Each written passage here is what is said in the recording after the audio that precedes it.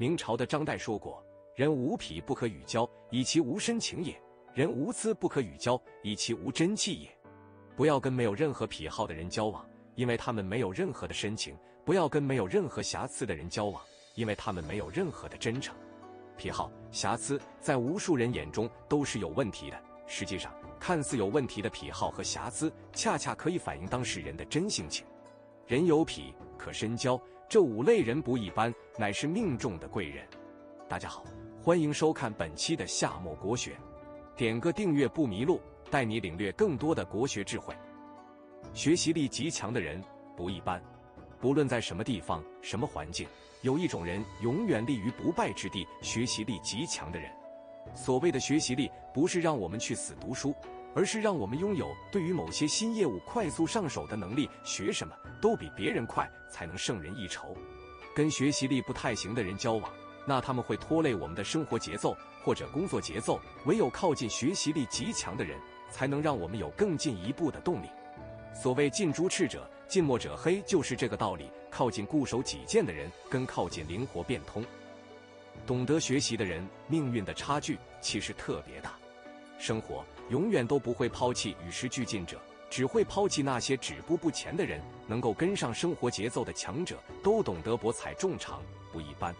在国学中有句名言：“圣人抱义而天下和。”这意味着圣人能够吸取众人的长处，不拘泥于一己之见。靠近固守己见的人，往往无法适应变化的社会，他们的思维变得狭隘，无法与时俱进。而那些灵活变通、懂得学习的人，不断吸收新知识，不断融合各方面的优点，他们在命运的道路上会有更大的发展空间。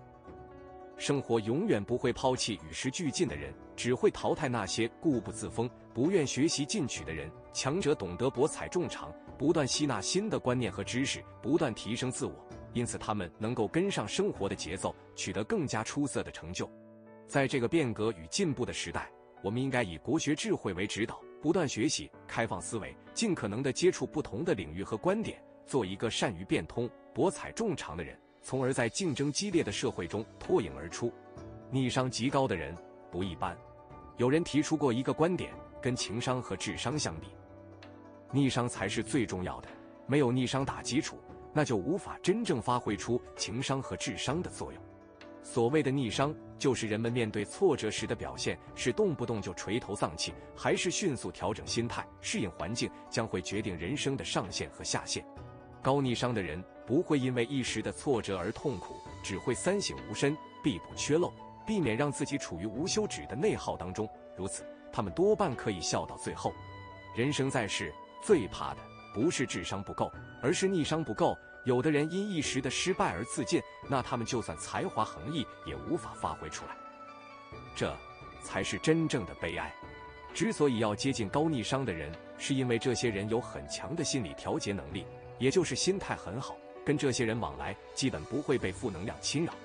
有人曾指出，逆商比情商和智商更为重要，没有良好的逆商基础，情商和智商都无法充分发挥作用。所谓逆商。指的就是人们面对挫折时的应对能力，及时调整心态，适应环境，这决定了人生的上限和下限。高逆商的人不会因一时挫败而沮丧，而是反思自身，修正不足，避免陷入无休止的自我困扰中。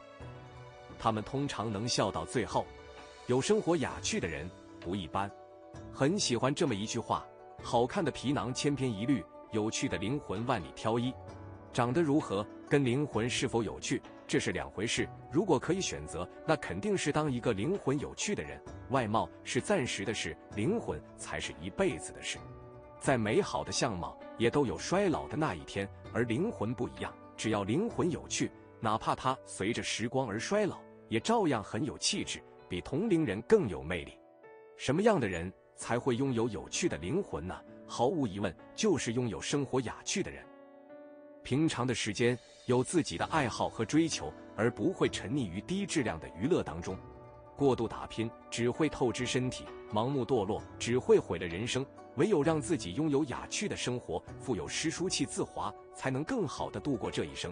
每天一点新思路，每天一些新感悟。欢迎订阅夏末国学。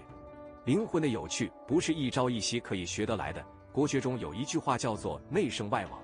指的是内在修养与外在德性的统一。通过读书修身养性，我们可以培养出一颗有趣的灵魂。国学中强调道德修养、文化积淀，以及对自然人文的敬畏与欣赏，这些都可以成为培养灵魂有趣的基石。比如，学习古人的诗词、经典文化，可以让我们的灵魂变得丰富而有深度；学习古人的礼仪道德。可以让我们的灵魂变得高雅而仁厚。在这个过程中，我们要学会用心感悟、细细品味，让自己的内心世界更加丰富多彩。当我们拥有了这样一个有趣的灵魂，我们就能在任何时光下都保持内心的青春和魅力。不管外貌如何改变，只要灵魂还保持着对生活的热爱，就能展现出无限的气质和魅力。知恩图报的人不一般。小的时候，身边的老人就跟我们说。出门在外，不要跟忘恩负义的人往来，知恩图报的人才是最好的相处对象。感恩在这个年头是特别稀少且奢侈的品质，不是所有人都懂得感激别人的付出，也不是所有人都会对帮过自己的人上心。正所谓岁寒知松柏，患难见真情。到了冬天，才知道松柏的青绿和挺拔；遇到了患难，才知道哪些人对我们存在真正的感情。现代人。基本上遇不到患难见真情，只会遇到锦上添花易。为什么？随着生活的节奏越来越快，人们只会把重心放在利益上，而不会放在感情上。所以说，如果有幸遇到了懂得知恩图报的人，不妨与之保持联系，至少我们的付出不会被这些人辜负。这些话不禁使我想起国学经典《论语》中的一句名言：“己所不欲，勿施于人。”感恩是中国传统文化中的一种美德，它教导我们要怀着一颗感恩的心对待他人的帮助，如同《诗经》中的“感时花溅泪，恨别鸟惊心”。我们酷爱自然，感激月亮的照耀，花草的绽放，更理应感激身边人的付出与真心。虽然当代社会快节奏的生活使人们更注重利益，但无论如何。我们都应该珍惜遇到的那些懂得知恩图报的人，与他们保持联系，这是一种修养，更是对国学智慧的践行。因为他们的存在，我们的付出才不会被辜负，相互间的情感才会得到真正的滋养与成长。跟你说真话的人不一般。唐太宗李世民一登基就遇到了一个刺头魏征，每一次李世民做错什么，魏征都会一针见血地指出来，不会遮遮掩掩。对于喜欢说真话的魏征，李世民产生了杀掉他的想法。但是长孙皇后劝李世民：“陛下想当千古圣君，难道不用依靠这些赤胆忠心的忠臣吗？”谈到说真话这三个字，不得不提到一句话：“君子之交淡如水，小人之交甘若醴。”跟君子交往只会平淡如水，所以我们会厌恶跟小人交往。